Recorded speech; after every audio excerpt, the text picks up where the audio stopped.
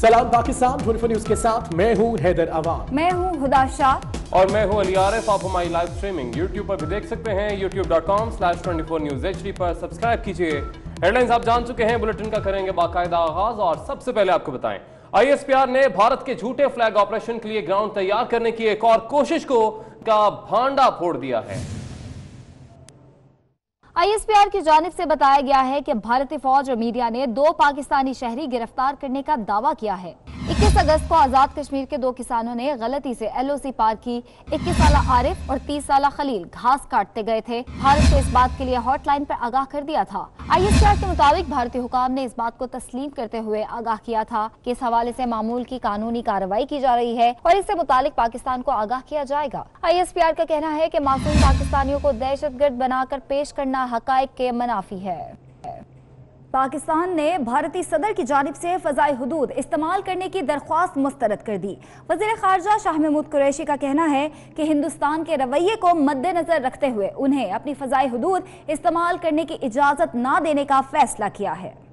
وزیر خارجہ شاہ محمود قریشی کا بھارت کے حوالے سے ایئر سپیس کے استعمال سے متعلق اہم بیان سامنے آیا ہے۔ انہوں نے کہا ہے کہ بھارتی صدر نے پاکستان سے ایئر سپیس استعمال کرنے کی اجازت طلب کی تھی، جسے مسترد کر دیا گیا۔ وزیر خارجہ شاہ محمود قریشی کا کہنا تھا کہ بھارت نے گزشتہ چونتیس روز سے کشمیروں کو بنیادی سہولتوں سے محروم کر رکھا ہے۔ وزیر خارجہ نے کہا کہ کشمیر میں بربریت اور ظلم ہو رہا ہے۔ ہم نے صبر و تحمل کا مظاہرہ کیا اور نہایت محتاط طریقے سے مسئلے کو اٹھایا، لیکن بھارت ٹس سے مس نہیں ہو ہو رہا۔ بھارت کے صدر نے درخواست کی تھی ہمارے ریکویسٹ آئی تھی، وہ جا رہے ہیں آئس لینڈ اور ہماری ایئر سپیس کو وہ استعمال کرنا چاہ رہے تھے۔ ان حالات میں جہاں وہ ٹس سے مس نہیں ہو رہے کرفیو کو لفٹ نہیں کر رہے، لوگوں کو بنیادی سہولتیں نہیں دے رہے، آج پاکستان نے فیصلہ کیا ہے کہ ہم بھارت کو، صدر کو اپنی ایئر سپیس استعمال کرنے کی اجازت نہیں دیں گے۔ شاہ محمود قریشی نے کہا کہ بھارتی صدر نے آئس لینڈ جانے کے لیے پاکستانی فضائی حدود استعمال کرنے کی اجازت مانگی تھی، لیکن مقبوضہ کشمیر کے موجودہ حالات میں بھارتی قیادت کو پاکستانی فضائی حدود استعمال کرنے کی اجازت نہیں دے سکتے۔ بھارتی جنوریت کو مد نظر رکھتے ہوئے پاکستان نے یہ فیصلہ کیا۔ وزیر اعظم عمران خان نے فیصلے کی منظوری بھی دے دی ہے۔ چندہ ماموں دور مودی کا خواب چکنا چور۔ بھارت کی چاند گاڑی، گدا گاڑی ثابت ہوئی۔ چاند پر پہنچنے سے پہلے سگنل کھو بیٹھی۔ بھارت کا چاند مشن ایک بار پھر ناکام ہو گیا۔ بھارت کو ایک بار پھر موگی کھانا پڑ گئی۔ چاند پر جانے کا مشن دوسری بار بھی ناکام ہو گیا۔ چاند پر لینڈنگ کا نظارہ دیکھنے کے لیے بھارتی وزیر اعظم نریندر مودی، بھارتی اسپیس ایجنسی اسرو پہنچے۔ جب انہیں بتایا گیا کہ سگنل منقطع ہو چکے ہیں، تو مودی مایوس ہو کر واپس چل دیے۔ بھارتی سپیس ایجنسی اسرو کے سربراہ کا کہنا ہے کہ خلائی مشن چندریان ٹو چاند پر لینڈنگ سے چند منٹ قبل سگنل کھو بیٹھا۔ مشن محض چاند سے دو اشاریہ ایک کلومیٹر کی دوری پر تھا۔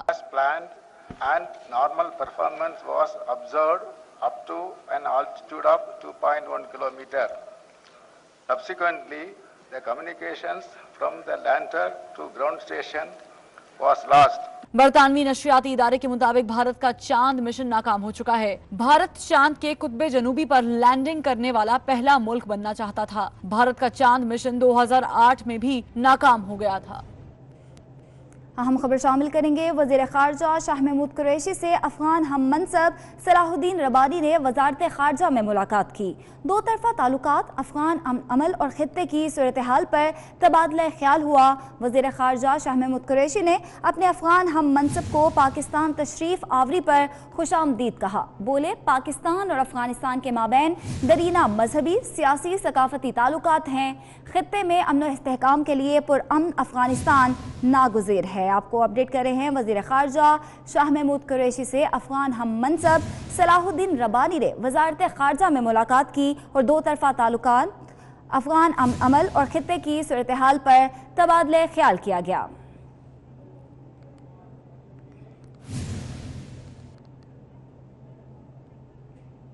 بینامی نامی جائیدادوں کے خلاف کاروائی کون کرے گا؟ بینامی نامی جائیدادوں کے خلاف کاروائی وفاق اور صوبے کے درمیان کھچڑی بن گئی۔ کاروائی کے لیے ایف بی آر کو تاحال با اختیار نہ کیا گیا۔ کاروائی کی ذمہ داری متعدد اداروں کو دے دی گئی ہے۔ اسی حوالے سے بتا رہے ہیں وقاس عظیم۔ جی وکاس۔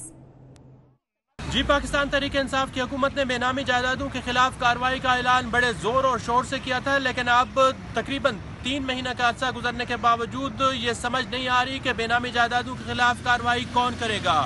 کیونکہ وزیر اعظم عمران خان کی جانب سے اب صوبائی حکومتوں کو یہ ذمہ داری سونپی گئی ہے کہ وہ اپنے اپنے اضلاع میں بے نامی جائیدادوں کی نشاندہی کریں۔ اس سلسلے میں چیف سیکٹریز نے تمام ڈپٹی کمشنرز کو یہ ہدایات جاری کی ہیں، جبکہ senior members board of revenue کو بھی یہ ہدایات جاری کی گئی ہیں کہ وہ بے نامی جائیدادوں کے خلاف کارروائی کا آغاز کریں۔ ذرائع کا یہ کہنا ہے کہ اب وفاق اور صوبوں کے درمیان یہ سمجھ نہیں آ رہی کہ بے نامی جائیدادوں کے خلاف کارروائی کون کرے گا کیونکہ صوبائی حکومتوں کو یہ کہا گیا ہے کہ تیس ستمبر تک بے نامی جائیدادوں کی نشاندہی کی جائے، جبکہ فیڈرل بورڈ آف ریونیو میں جو بے نامی زونز بنائے گئے ہیں، ابھی تک ان کو بااختیار نہیں بنایا گیا۔ ٹھیک ہے، بہت شکریہ بہت شکریہ وکاس صاحب نے اپڈیٹ کیا، جبکہ جمعیت علماء اسلام نے اکتوبر میں اسلام آباد میں آزادی مارچ کی تیاریاں شروع کر دی ہیں۔ مولانا فضل الرحمان نے اپنی ممکنہ گرفتاری کے بعد مارچ کی قیادت کے لیے ناموں پر غور بھی شروع کر دیا۔ مزید بتا رہے ہیں ہمارے نمائندے عثمان خان۔ عثمان، کیا تفصیلات ہیں آپ کے پاس؟ جی بالکل جمعیت علماء اسلام نے حکومت کے خلاف اکتوبر کے مہینے میں اسلام آباد لاک ڈاؤن کا اعلان کیا تھا، جبکہ دوسری جانب جمعیت علماء اسلام کی مرکزی قیادت بھی متحرک ہو گئی ہے اور اس وقت بھی کچھ خبریں گردش کر رہی ہے کہ امیر جمعیت علماء اسلام مولانا فضل الرحمان اکتوبر سے قبل گرفتار بھی ہو سکتے ہیں، ان کی نظر بندی بھی ہو سکتی ہے۔ تو اس پر مولانا فضل الرحمان نے سوچ بچار شروع کر دیا کہ اگر ان کی گرفتاری ہوتی ہے تو اس کے بعد اس آزادی مارچ کو کون کمانڈ کرے۔ سب سے پہلے اگر ہم بات کریں تو سر فہرست جو ہے وہ جمعیت علماء اسلام کے مرکزی سیکرٹری جنرل سینیٹر مولانا عبدالغفور حیدری کا نام ہے، جبکہ اس کے ساتھ ہی ہم بات کریں دیگر پارٹی کی جو مرکزی قیادت ہے، رہبر کمیٹی کے سربراہ اکرم خان دورانی جمعیت علماء اسلام سندھ کے سیکرٹری جنرل علامہ راشد خالد محمود سومرو، مولانا عطا الرحمان مولانا لطف الرحمن اور مولانا فضل الرحمن کے صاحبزادے اور رکن قومی اسمبلی مولانا اسد محمود سمیت پارٹی کی دیگر اہم رہنماؤں کے نام بھی اس لسٹ میں جو ہے وہ سامنے آئے ہیں، جس پر سوچ بچار جاری ہے، جس میں فرسٹ سیکنڈ اور تھرڈ کمانڈز کے ناموں کی حتمی منظوری مولانا فضل الرحمان دیں گے اور ان ناموں کو بھی خفیہ رکھا جائے گا۔ اگر مولانا فضل الرحمان کی گرفتاری ہوتی ہے تو اس کے بعد یہ نام سامنے آئیں گے۔ اگر ان کی سیکنڈ کمانڈ اور فرسٹ کمانڈ بھی گرفتار ہوتی ہے تو جو باقی کمانڈز کے جو نام ہے وہ سامنے آئیں گے۔ ذرائع کے مطابق مولانا فضل الرحمان نے اٹل فیصلہ کیا ہے کہ وہ اکتوبر کے مہینے میں اسلام آباد آئیں گے تو ان کی گرفتاری بھی متوقع ہے۔ اس لیے وہ ان ناموں پر غور کر رہے ہیں ٹھیک ہے عثمان خان بہت خان بہت شکریہ آپ کا۔ جبکہ اقوام متحدہ کی جنرل اسمبلی سے مسئلہ کشمیر حل نہیں ہونا وزیر ریلوے شیخ رشید کہتے ہیں کہ کشمیریوں نے آزادی اور موت میں سے ایک راستہ چن لیا ہے۔ کوئی کشمیر کا سودا نہیں کر سکتا۔ این آر او کا ذکر کرتے ہوئے ان کا کہنا تھا کہ نواز شریف نے پلی باغین شروع کر دی ہے۔ وزیر اعظم عمران خان کسی کو این آر او نہیں دیں گے۔ شیخ رشید سکھر میں میڈیا سے گفتگو کر رہے تھے۔ سندھ کے غریبوں کو میرا یہ پیغام ہے انشاءاللہ۔ سب سے پہلے فاسٹ ٹرین جو ہے دنیا کی تیز ترین ٹرین جو کراچی اور سکھر کے درمیان لے کر آؤں گا، دیکھیں جس جس نے گاجریں کھائی ہیں، اس کے پیٹ میں درد ہوگی۔ جس جس جو زیادہ چیخ رہا تھا، اس کی بولتی بند ہو گئی ہوئی ہے۔ جس جس نے گاجرن کھائی ہے، اس کو نیب کا چورن ملے گا۔ لیکن نیب سے ڈر کے بیروکریسی بھی نہیں کام کر رہی۔ بیروکریسی نے بھی کام کرنا چھوڑ دیا، اس کا بھی ہمیں حل تلاش کرنا۔ جج Arshad Malik video scandal case میں اہم پیشرفت ہوئی ہے۔ کیس میں ملوث ناصر جنجوا سمیت تین ملزموں کو عدالت نے عدم شواہد کی بنیاد پر بری کر دیا۔ تفصیلات کے لیے یہ رپورٹ دیکھیے۔ اسلام آباد کی مقامی عدالت نے احتساب عدالت کے سابق جج ارشد ملک کے ویڈیو سکینڈل میں نامزد تین ملزمان کو بری کر دیا۔ مقامی جوڈیشل مجسٹریٹ ثاقب جواد نے جج ویڈیو سکینڈل کیس کی سماعت کی۔ ایف آئی اے کے تفتیشی افسر نے تحقیقاتی رپورٹ عدالت میں جمع کرائی۔ ایف آئی اے رپورٹ میں عدم شواہد کی بنیاد پر گرفتار ملزمان ناصر جنجوا خرم یوسف اور غلام جیلانی کو کیس سے ڈسچارج کر دیا گیا۔ ایف آئی اے نے عدالت کو بتایا کہ گرفتار تینوں ملزموں کے خلاف شواہد نہیں ملے۔ عدالت چاہے تو گرفتار ملزموں کو رہا کر دے۔ عدالت نے ایف آئی اے کی استدعا پر کچھ دیر کے لیے فیصلہ محفوظ کیا، جو بعد میں سناتے ہوئے وفاقی تحقیقاتی ادارے کی درخواست منظور کر لی۔ اس سے قبل ایف آئی اے نے تینوں ملزمان کو سول جج شائستہ کنڈی کی عدالت میں پیش کیا۔ جس پر جج شائستہ کنڈی نے کیس کی سماعت سننے سے انکار کرتے ہوئے کہا کہ میں ذاتی وجوہات پر کیس نہیں سننا چاہتی، اس لیے کیس دوسری عدالت میں منتقل کیا جا رہا ہے۔ کراچی سے خبر دیں گے، علاقہ ہے سچل تھانے کی حدود بھٹائی آباد میں کرنٹ لگنے سے۔ پانچ افراد جھلس گئے، جبکہ ریسکیو ذرائع کے مطابق کرنٹ لگنے کے باعث تین افراد دم توڑ گئے ہیں۔ اسی بارے میں تفصیلات کیا ہیں، ہمارے نمائندے سمر عباس سے جانتے ہیں۔ سمر بتائے گا کیا واقعہ ہے یہ؟ ہاں جی بالکل دیکھیں، یہ سچل کے علاقے میں بٹائی آباد ہے، جہاں پہ پانچ افراد کو کرنٹ لگ گیا ہے۔ پولیس حکام سے ہماری بات ہوئی، ان کا کہنا ہے کہ پانچوں افراد کو نجی اسپتال منتقل کیا گیا ہے، جہاں ریسکیو اداروں نے کنفرم کیا کہ تین افراد جو ہے اسپتال لے جاتے ہوئے راستے میں دم توڑ گئے جن میں ایک بارہ سال کا لڑکا بھی شامل ہے۔ ابتدائی طور پر پولیس کا کہنا ہے کہ پانچوں افراد کو کرنٹ لگا ہے، واقعی کی مزید تفتیش کی جا رہی ہے۔ جی۔ ٹھیک ہے، بہت شکریہ تفصیلات کے لیے۔ یہاں وقت تو ایک بریک کا۔ مزید خبریں اس بریک کے بعد۔ ہمارے ساتھ ہی رہیے۔ بریک کے بعد خوش آمدید کہیں گے۔ مسلم لیگ نون کے رہنما احسن اقبال کا کہنا ہے کہ حکومت سی پیک جیسے منصوبوں کو غیر سنجیدہ نہ لے۔ ملکی تاریخ کا سب سے بڑا مالی خسارہ موجودہ دور حکومت میں ہوا۔ مسلم لیگ نون کی ڈیل صرف عوام اور آئین سے ہے۔ حکومت سے کسی ڈیل کا کوئی تصور نہیں وہ لاہور میں میڈیا سے گفتگو کر رہے تھے۔ اس مالی سال کے اندر حکومت نے بجٹ میں کوئی فنڈ نہیں رکھے جس سے سی پیک کا نیا منصوبہ شروع کیا جا سکے۔ آپ کے سامنے ہے اس وقت ملک کی معیشت کی صورتحال آپ کے سامنے ہے۔ تو ملک معاشی طور پہ کریش کر رہا ہے۔ صنعتیں بند ہو رہی ہیں۔ ہم نے جتنا قرض پانچ برسوں میں لیا تھا، یہ ایک برس میں لے کے کھا چکے ہیں۔ مسلم لیگ نون کی ڈیل صرف پاکستان کے عوام سے اور پاکستان کے آئین کے ساتھ ہے۔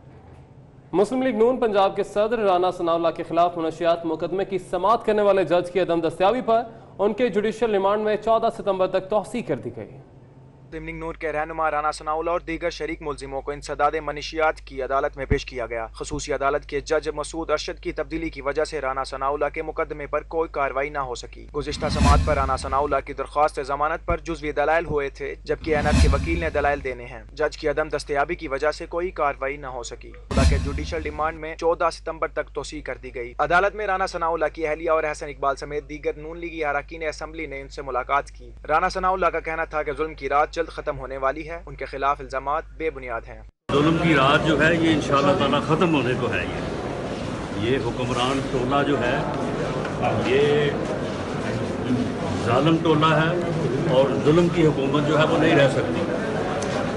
کفر کی حکومت چل سکتی ہے ظالم کی حکومت نہیں چل سکتی۔ رانا ثناءاللہ کی پیشی سے قبل جوڈیشل کمپلیکس کے اطراف میں سیکیورٹی کے سخت انتظامات کیے گئے۔ کسی بھی سائل یا لیگی کارکن کو کمرہ عدالت کے اندر جانے کی اجازت نہ دی گئی۔ پاکستان کا بڑا اور سب سے زیادہ ریونیو دینے والا شہر کراچی۔ مسائل کا مرکز بنتا جا رہا ہے۔ میئر کراچی اور منتخب بلدیاتی نمائندوں کی ناقص کارکردگی کا پول کھل گیا۔ عملی کام ہوتا نہیں، سڑکیں، ندی، نالوں میں تبدیل۔ کہیں گٹر ابل پڑے ہیں تو کہیں نالے۔ شہر کا کوئی پرسانے حال نہیں۔ تفصیلات کے لیے دیکھیے مانیا شکیل کی رپورٹ۔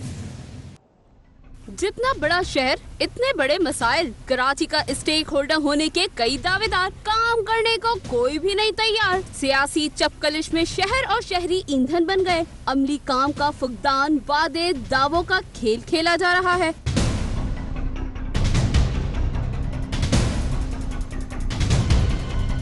جولائی، اگست اور ستمبر کی بارشوں میں انتظامی نا اہلی ناقص کارکردگی، سب کچھ بے نقاب ہو گیا۔ نارتھ کراچی اور ناگن چرنگی، ملیر کی سڑکیں، ندی نالوں میں تبدیل۔ کئی فٹ پانی جمع ہو گیا۔ بیشتر علاقوں میں اب بھی صورتحال تسلی بخش نہیں۔ پاکستان کے دل اور بڑے شہر کی حالت قابل رحم ہے۔ میئر کراچی، واٹر بورڈ، اراکین اسمبلی اور بلدیاتی نمائندوں نے شہر اور شہریوں کو لاوارس چھوڑ دیا ہے۔ کیمرہ مین جانزیب علی کے ہمراہ مانیہ شکیل 24 نیوز، کراچی۔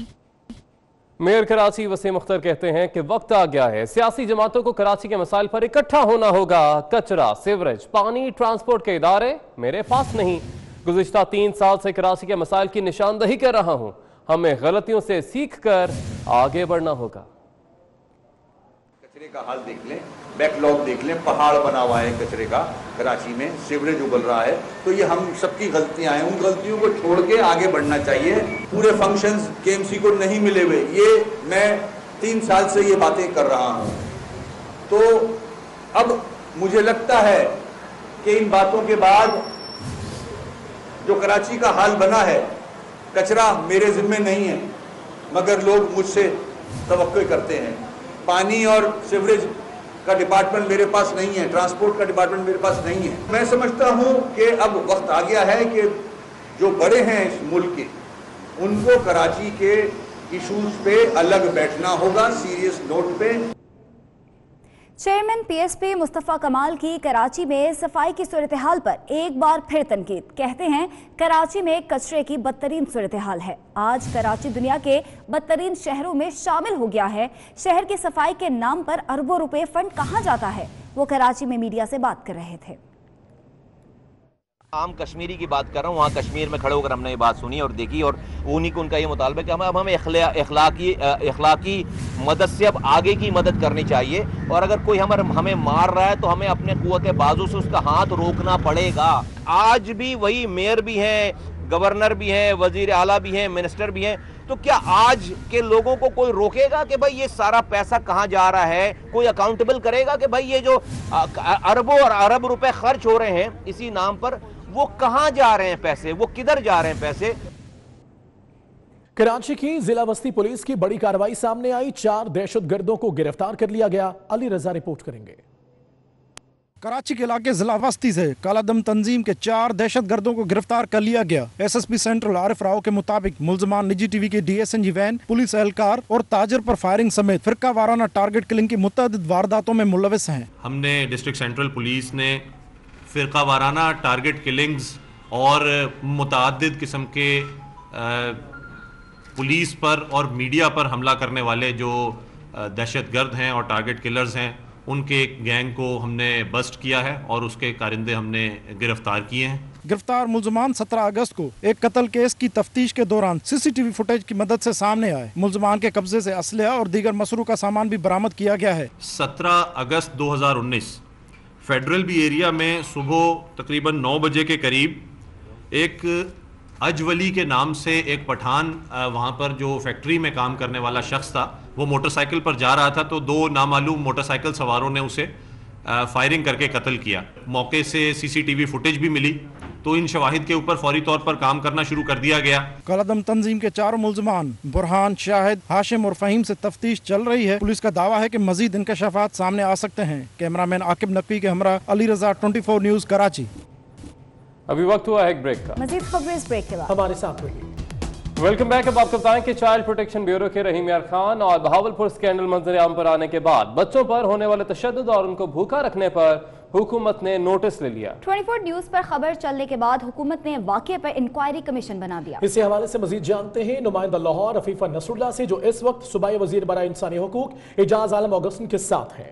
جی رفیفہ جی بالکل اس وقت میں موجود ہوں ہاسپٹلی ٹیم میں اور میرے ساتھ موجود ہے منسٹر صاحب جو کہ انسانی حقوق کے منسٹر ہیں اعجاز عالم اوگسٹن ان سے بات کرتے ہیں چائلڈ پروٹیکشن کا بہت ایک بڑا سیریس ایشو اٹھا ہے بچوں کو مارا جاتا ہے۔ میں نے خود رپورٹ کیا ہے بچے جس طرح روتے ہیں کر لاتے ہیں جیسے ان کو مارا جاتا ہے بچوں نے پوری پوری میرے سامنے گواہی دی ہے رپورٹ بھی ہے۔ آپ کو رپورٹ بھی سینڈ کروں گی لیکن اس سے پہلے یہ بتائیں کہ رحیم یار خان اور بہاولپور میں جو بچوں کے ساتھ ہوا ہے مسرد جمشید چیمہ نے جا، جیسے جا کے وہاں پر، اور وہ جو حالت زار ہے کپڑے جیسے بکھرے ہوئے اس کے بارے میں کیا کہیں گے دیکھیں، وہ میں نے ویڈیو دیکھی ہے اور ہم انشاءاللہ محرم کے بعد وہاں پہ جا رہے ہیں اور انشاءاللہ دیکھ کے جن لوگوں کی یہ کوتاہی ہوئی جن لوگوں نے اس بچوں کے ساتھ امن کے خلاف کارروائی کریں گے تو ڈیفینیٹلی ہم وہاں پہ جا کے اس کو دیکھیں گے اور کیا ان لوگوں سے پوچھیں گے سوال کہ کیوں اتنا؟ یہ دیکھیں جو جو جو جو ویڈیو میں یہ چیزیں بیان کی گئی ہیں آپ نے جو رپورٹ بنائی ہے ان ساری چیزوں کو ایڈریس کیا جائے۔ سر اگر اس کو پہلے کلین سویپ کیا ہو بچوں کو پھر مار داڑ کے کر دیا جیسے کہ بچوں نے بتایا۔ آپ کی ویڈیو تو موجود ہے نا وہ تو غائب نہیں ہو گئی۔ جی بالکل جیسے کہ آپ نے جہاز صاحب کی بات سنی اور انہوں نے کہا جو وہ کہتے ہیں وہ کرتے بھی ہیں اور بچوں کے ساتھ جو ظلم و ستم ہوا ہے یقیناً اب اس کا مداوع بھی ہوگا۔ ان بچوں کو ان لوگوں کو جنہوں نے ان بچوں کو مارا گیا مارا ہے ان سے بونڈ لیبر کرائی ہے ان کو ضرور کیفرے کردار تک پہنچا ہے شکریہ آپ کا کام سیول ایویشن کی جانب سے کراچی ایئرپورٹ پر ہنگامی مشقوں کا اہتمام کیا گیا۔ مشقوں کے دوران پی آئی اے جہاز کی فرضی ہنگامی لینڈنگ بھی کروائی گئی۔ اسی حوالے سے سمر عباس کی رپورٹ دیکھیے۔ کراچی ایئرپورٹ پر ہنگامی حالات سے نپٹنے کے لیے مشقوں کا اہتمام کیا گیا۔ قومی ایئر لائن کے تیاری کی ہنگامی لینڈنگ، فائر فائٹنگ طیارے سے مسافروں کو بحفاظت نکالنے اور زخمی مسافروں کی ہیلی کاپٹر کے ذریعے منتقلی کا عملی مظاہرہ کیا گیا۔ کوارڈینیٹڈ ایفرٹس کو ہم نے ری ویلیویٹ کر کے یہاں پر آج یہ ایکسرسائز منعقد کی، جو کہ ایک مینڈیٹری ریکوائرمنٹ ہوتی ہے تاکہ آئندہ ہم کسی، جب کوئی ایمرجنسی کی صورتحال ہو تو اس کے لیے ہم تیار رہیں۔ ہنگامی مشقوں میں نجی ایئر لائنز کے سٹاف ممبر اور ایئرپورٹ سیکیورٹی فورس کے اہلکار بھی شریک تھے۔ ایئرپورٹ سیکیورٹی فورس اپنے تمام ایکسرسائزز جن ایمرجنسیز کے لیے ہے ایس او پی کے تحت مختلف ادوار میں ہفتے میں دس دن میں پندرہ دن میں ہم یہ کرتے رہتے ہیں۔ سیول ایویشن حکام نے دعویٰ کیا ہے کہ مشقیں عالمی قوانین کے مطابق کی گئیں اور کامیاب رہیں۔ سیول ایویشن کی جانب سے کراچی ایئرپورٹ پر ہنگامی صورتحال سے نپٹنے کے لیے مشقوں کا مقصد اداروں کا ایمرجنسی رسپانس ٹائم جانچنا ہے۔ کیمرامین احمد کے ساتھ Samar Abbas 24 news, Karachi. N A چون سے منتخب رکن قومی اسمبلی اسد عمر نے ایک سال قبل علاقے کے مسائل حل نہ ہونے پر مستعفی ہونے کا اعلان کیا تھا، مگر ایک سال گزر جانے کے باوجود علاقے کے مسائل جون کے تو ہیں، حلقے میں درپیش مسائل اور شہریوں کی رائے سے متعلق آگاہ کر رہی ہیں سبا بجیر اپنی اس رپورٹ میں۔ N 54 fifty four Asad Umar کا وہ حلقہ جس کے لیے انہوں نے اعلانات کیے تھے کہ اگر اس علاقے کے مسائل حل نہ کیے تو وہ استیفہ دے دیں گے۔ استیفہ کیا دینا؟ اسد عمر صاحب نے تو ایک سال میں اس علاقے میں آنے کی زحمت ہی نہ کی۔ اس علاقے کے مسائل کیا ہیں؟ آئیے آپ ہی کو دکھاتے ہیں۔ میں اپنے حلقے کے اندر لوگوں کے جو بنیادی مسئلے ہیں اس کے اندر واضح تبدیلی نہ دکھا سکوں نا، تو میں نے ریزائن کرنا ہے اور میں نے چلے جانا ہے گھر۔ ہم سمجھتے تھے کہ حکومت تبدیل ہوگی، تبدیلی آئے گی، تو اس کے بعد یہاں شمس کالونی میں بھی تبدیلی آ جائے گی۔ لیکن یہ پہلے سے بھی پیچھے کی طرف جا رہی ہے شمس کالونی۔ میں نے پی ٹی آئی کو سپورٹ بھی کافی کیا تھا لیکن ہماری ساری امیدوں پہ پانی پھر چکا ہے۔ خاص طور پہ ہمیں گیس کا مسئلہ بہت ہے میٹروں کی درخواستیں ہم نے دی تین تین سال ہو گئے ہمارے یہاں میٹر نہیں لگ رہے۔ آج یہ ڈیڑھ سال سے اوپر کا عرصہ گزر چکا ہے اور نہ ہی اسد عمر صاحب کی کوئی کابینہ میں کارکردگی رہی اس کی وجہ سے کابینہ سے بھی آؤٹ ہو گئے اور نہ ہی وہ حلقے میں الیکشن کے بعد تشریف لائے اور اس کے بعد کوئی حلقے کے اندر انہوں نے کوئی کام کیا ہو۔ ووٹ لینے سے پہلے بڑے وعدے کیے گئے تھے کہ ایچ تیرہ کے سارے مسائل حل ہو جائیں گے، لیکن سال سے اوپر گزر گیا۔ اس علاقے کے مسائل حل کیا ہونے، لوگ اس امید پر موجود ہیں کہ اسد عمر شاید ایک سال کے بعد اس علاقے کا چکر لگا سکیں۔ کیمرہ مین نفیس آرائیں کے ساتھ سبا بجیر، شمس کالونی، اسلام آباد۔ اسی کے ساتھ نیو اسٹوڈیو سے آپ ہمارے ساتھ رہے گئے۔